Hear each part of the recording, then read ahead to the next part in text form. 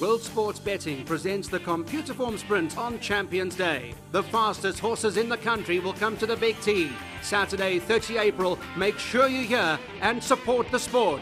Visit itsarush.coza.